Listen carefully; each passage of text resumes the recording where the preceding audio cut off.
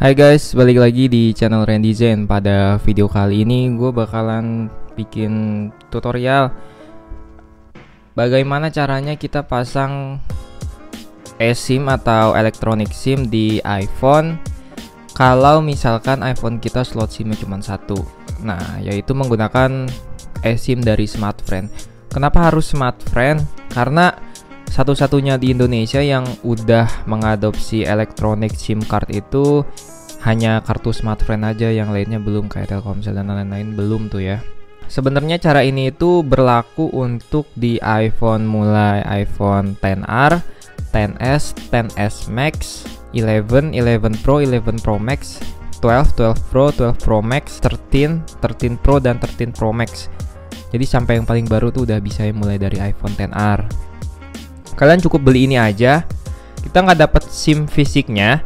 Ini tuh kayak kartu perdana cuman ini kita dapat giniannya aja. Nah kalau dibuka dia nggak ada SIM fisiknya ya. Cuman nanti kita scan QR code-nya.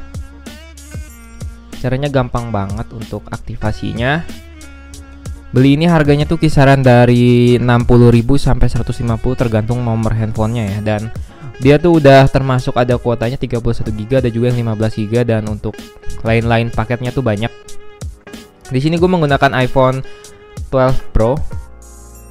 iPhone 12 Pro gue ini dual SIM. Jadi kalian tuh harus pastiin ya untuk iPhone 10R tuh emang dual SIM tapi SIM-nya tuh kan ada yang dual SIM nano dual SIM nano itu kayak di iPhone 10R sebelumnya gue pernah review juga. Kalau di dual sim nano dia itu di bagian sim tray-nya. Dia ada dua lapis atas bawah. Jadi kalian bisa simpan kartu di bawah sini dan bisa di sini. Cuman ini kan slotnya tuh hanya satu ya.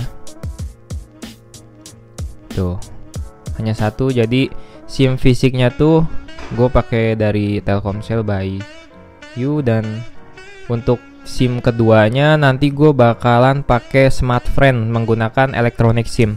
Karena kan slotnya cuma satu, jadi kalau kalian mau dual SIM di iPhone kalian, kalian pakai eSIM ini. Ya kan sinyalnya udah kebaca. Nah, caranya gimana? Kalian udah beli nih. Kalau kalian udah beli, kalian tinggal scan aja barcode-nya. Buka kamera. Ya kan? Terus kalian scan barcode-nya. Kalian klik ininya linknya.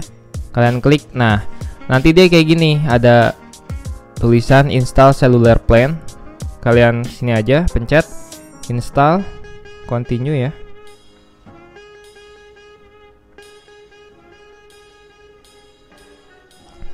Habis itu kalian pencet lagi add cellular plan nah di sini ada nomor handphone kalian ya untuk yang primary dan secondary. Kalian pilih mau mau yang SIM satu itu primary secondary itu SIM kedua. Kalian pilih aja secondary. Habis itu kalian dan continue. Untuk default lainnya tuh kalian mau pilih yang SIM satu atau SIM 2 di kartu ini. Kalau gue pakai eh, SIM ini tuh di SIM keduanya gue pilih secondary habis itu continue Nah, di sini udah ada tulisan ya. Kalian tinggal continue aja. Nomor handphonenya sudah tertulis ya secondary plan-nya tuh smartphone continue seluler data nih kalian kalau mau pakai paket data tuh mau di kartu Bayu atau di smartphone kalau gue pakai di kartu Bayu jadi untuk smartphone tuh bisa juga Nanti kalian tinggal switch aja kayak Android mau paket data yang di SIM 1 atau mau pakai data yang di SIM 2 tuh bisa. Ya kan? Terusnya nih allow data cellular switching. Jadi izinkan mengganti paket data kalau kalian mau pakai data bisa SIM 1 SIM 2 kalian enable continue. Oke. Jadi udah selesai. Nah, handphone kalian udah dual SIM ya kan di sini udah ada SIM smartphone-nya, ada SIM bayunya juga ada untuk SIM satunya yang primary, SIM 2 yang secondary. Oke, jadi sebelumnya kalau misalkan kalian mau mastiin handphone kalian, handphone kalian support smartphone eSIM ini atau enggak, kalian bisa cek aja di settings. Habis itu kalian buka ke general. about kalian lihat emailnya kalau misalkan email kalian ada dua email physical sama email satu lagi itu berarti bisa ya. Contohnya yang tadi gue bilang yaitu iPhone 10R sampai iPhone 13 Pro Max tuh bisa. Kayak gitu. Jadi simpel aja. Sampai segini dulu aja video gue hari ini. Semoga teman-teman jadi tambah tahu ya. Oke.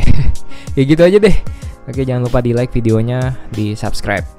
Thanks. Support sampai 50.000 subscribers